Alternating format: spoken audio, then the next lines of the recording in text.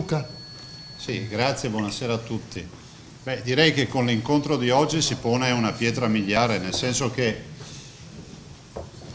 l'incontro oggi pone delle, delle, questioni che sono assolutamente chiare. Vogliamo discutere di piano industriale e avranno filo da torcere, diciamolo fino in fondo, anche perché ci vogliamo confrontare su progettualità, su investimenti e sul futuro di questo comparto. E questo non è un contenzioso collettivo di serie B, non siamo la periferia dell'impero, oggi lo dimostrano l'impegno che c'è stato da parte del Ministero da parte di tutti i governatori. Si discute del futuro non solo dei lavoratori ma di un intero comparto produttivo e vi posso garantire che da Veneto rinunciare ad Electrolux vuol dire rinunciare a un distretto importante che è quello del mobile, vuol dire rinunciare a un distretto importante che è quello dell'Inox Valley.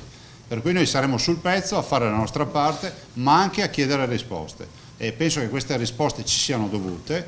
Vogliamo anche che eh, a livello nazionale si consideri questa avvertenza eh, degna di questo nome, lo ha confermato il Ministro, visto considerato che Electrolux non ha solo interessi in materia di elettrodomestici, ma rappresenta anche altri interessi sul territorio nazionale e rispondono ai nomi di Ericsson, di Alfa Laval, per cui una multinazionale vera e propria che per noi vale quanto la Fiat a Torino.